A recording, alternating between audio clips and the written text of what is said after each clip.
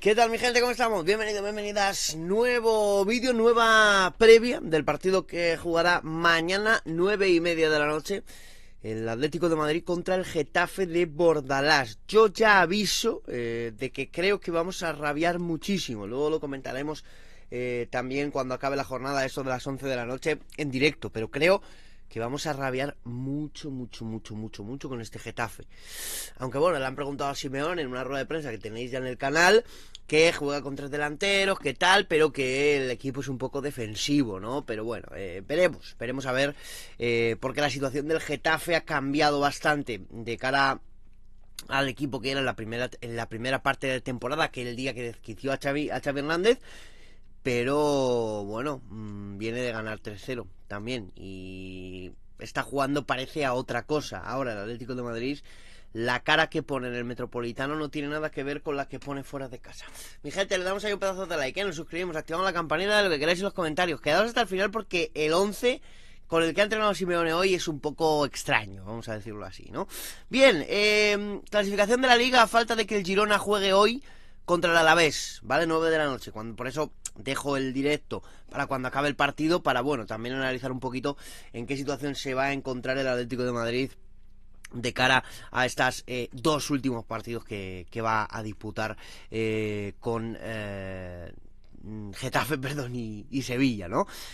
si a 5, a 6, a 8, a, 27, veremos a ver, veremos a ver, ¿no? Pero por ahora, el Madrid que ganó ayer 42 puntos, 41 el Girona que de no ganar pues se quedaría con esos 41 a 7 puntos del Atlético de Madrid y el Barça con un punto más, ¿vale? El Barça con un punto más. Si ganamos todo lo que tenemos que ganar, estaríamos por encima del Barça con dos puntos de más. ¿Vale? Si ganamos mañana y ganamos el sábado contra el Sevilla. Pero visto lo visto está la cosa complicada. Insisto, visto lo visto está la cosa está la cosa complicada, pero pero bueno, sé que el uh, Atleti en casa es otra otra cosa diferente. Bien, gente, venimos de San Mamés, venimos de un partido horrible, venimos de jugadores cansados, venimos de eh, un equipo que en ningún momento del partido dio la talla, que si el partido hubiera quedado, y lo tenemos todos claro, si hubiera quedado 5, 4, 0 o 1, a lo mejor se salvaba un gol del Atleti, a nadie le habría extrañado. Pero vamos al Metropolitano, donde somos fuertes, donde es un fortín, donde la afición lleva al equipo a poder eh, conseguir todas las victorias consecutivas que llevamos. Eh, eh, un, estadio infranqueable, un equipo que parece otro y se transforma en este estadio. Llega un Getafe, pues la verdad, como hemos visto aquí en la clasificación, en la posición número 8. ¿vale? La posición número 8 luchando por intentar meterse en esos puestos europeos a los que no está tan lejos y ha hablado Bordalás. Fijaos lo que ha hecho Bordalas. Bueno, yo le tengo un, gran respeto, una gran admiración porque es un magnífico técnico. Eh, el Cholo eh, lo, ha, lo, demostrado, eh, no hace falta que lo diga yo, lo ha demostrado durante años y lo sigue demostrando. Pero yo soy Bordalás, papá. Yo quiero ser feliz, yo tengo mi camino y obviamente, bueno, pues alcanzaremos nuestros objetivos. Bueno, yo le... Yo soy Bordalás, papá, ¿no? Haciendo como ahí hablando de, de Simeón en tono de humor. A mí Bordalás no es un tipo que me caiga mal.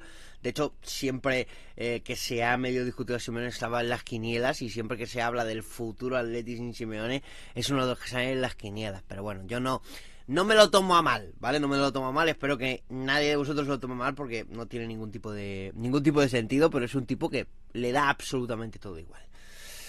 Bueno, vamos con lo que toca. Alguno se va a poner contento con el 11 que ha probado en el entrenamiento de hoy, que no sabemos si será el que sacará mañana de ti, pero es el que con el que ha entrenado eh, en la última sesión que ha acabado hace un rato, ¿vale? Oblak en la portería, eh, que el otro día no pudo hacer prácticamente nada con los dos goles que le metieron, eh, uno con la defensa mirando, entrando desde atrás el jugador del Athletic, y otro un golazo de, de Nico Williams que era, era prácticamente imparable. Primera novedad con respecto a Bilbao. Marcos Llorente en el lateral diestro en el carril diestro, el 16 no, el 14. Con el lateral diestro, en el carril diestro, gente. Molina no está en su mejor momento. Molina, perdón, fue sustituido en el descanso del último partido y no dejó buenas sensaciones. Os he contado eh, en el día de hoy, os he subido un, par de videitos así de, de cositas, de informaciones, y en uno de ellos os he contado que eh, ha habido charlas eh, con Molina y con Coque, ¿vale? Sobre todo con Molina para evaluar un poco su situación, porque no está en una situación buena, ni física ni mentalmente. No sabemos qué le pasa a Molina y para Simeone es muy importante, pero el equipo va primero, ya lo ha dicho en la, en la rueda de prensa, que es importante tener un equilibrio entre eh, la responsabilidad de cuidar al jugador y, la necesidad de ganar, ¿no? Entonces, eh, la necesidad de ganar un Marco Llorente que cada vez que hablo bien de él me decís que qué le veo yo, pero que será mejor o peor, no tire a puerta lo que tú quieras, porque Marco Llorente no es un goleador, no tirará a puerta lo que tú quieras, pero que se deja la vida.